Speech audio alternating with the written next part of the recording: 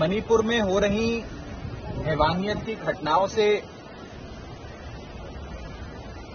सरकार से जवाब मांगने के लिए आज आम आदमी पार्टी और आम आदमी पार्टी के सदन के नेता संजय सिंह जी ने लगातार चेयरमैन साहब से निवेदन किया कि मणिपुर के विषय पर चर्चा हो, मणिपुर के विषय पर सरकार जवाब दे कि हमारे देश का एक अभिन्न अंग हमारा एक महत्वपूर्ण बॉर्डर स्टेट मणिपुर क्यों जल रहा है? वहाँ क्या परिस्थिति है?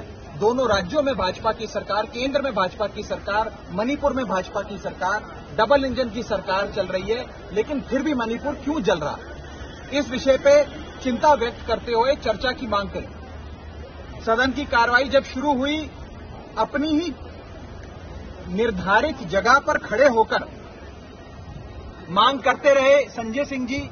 कि मौका मिले अपनी बात रखने का, मणिपुर पे चर्चा मांगने का। लेकिन चेयरमैन साहब ने हमारी ओर नहीं देखा। संजय सिंह जी को छोड़िए, विपक्ष की ओर ही नहीं देखा। तो आठ दस मिनट तक रिक्वेस्ट करने के बाद संजय सिंह जी चेयर के पास गए और विनती करने का प्रयास किया कि मणिपुर पे चर्चा कराई जाए। रूल 267 के तहत मणिपुर के विषय पे चर्चा हो। लेकिन दुख की बात यह है कि जैसे ही वो अपनी चेयर छोड़कर आगे बढ़े। चेयरमैन साहब ने संजय सिंह जी को सस्पेंड कर दिया, निलंबित कर दिया। लोकतंत्र में अगर सत्ता पक्ष और विपक्ष अहम मुद्दों पर साथ बहस नहीं कर सकता, चर्चा नहीं कर सकता तो फिर लोकतंत्र का मतलब क्या रह जाता? मैं पूछना चाहता हूँ, ऐसा कौन सा गुना संजय सिंह ने कर दिया? ऐसा कौन सा अपराध संजय सिंह ने कर दिया कि उन्हें सस्पेंड करना पड़ा आज? क्या चर्चा की मांग करना कोई अपराध है? क्या मणिपुर के लोगों की आवाज़ उठाना कोई अपराध है? क्या मणिपुर की बेटियों की चीखें भारतीय जनता पार्टी के नेताओं के कानों तक पहुंचाना कोई अपराध है? और अगर ये अपराध है तो फिर सिर्फ़ संजय सिंह को नहीं, पूरे विपक्ष को सस्पेंड करिए। विपक्ष का एक भी नेता ना बच पाए। सबको सस्पेंड कर दीजिए और सिर्फ़ बीजेपी के सांसदों को बिठाकर सदन चलाइए।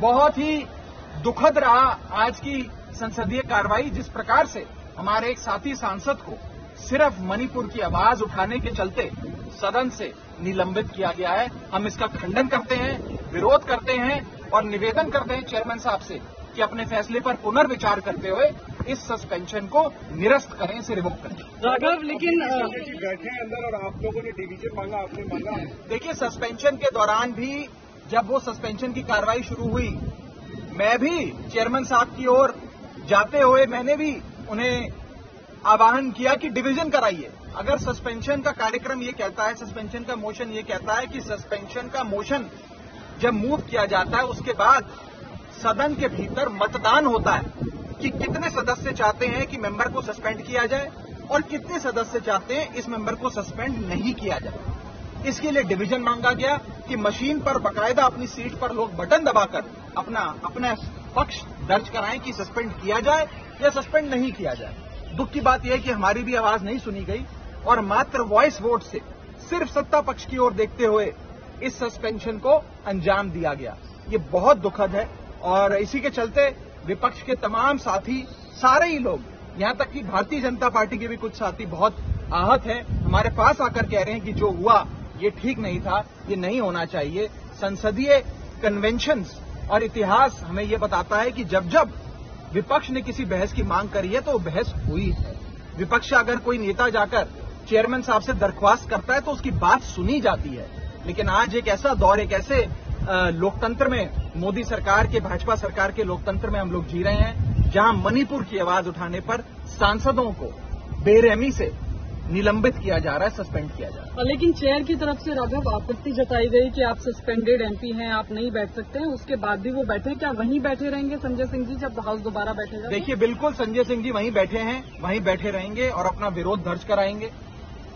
आज विरोध दर्ज कराने के लिए स्थिति ऐसी आ गई है कि सांसदों को सस्पेंड किया जा रहा है सस्पेंशन के बाद सांसदों को अपनी आवाज़ और अपना विरोध दर्ज कराने के लिए सदन के भीतर बैठना पड़ रहा है। इससे ज़्यादा दुखद चीज़ शायद ही भारत के लोकतांत्रिक इतिहास में आज तक नहीं हुई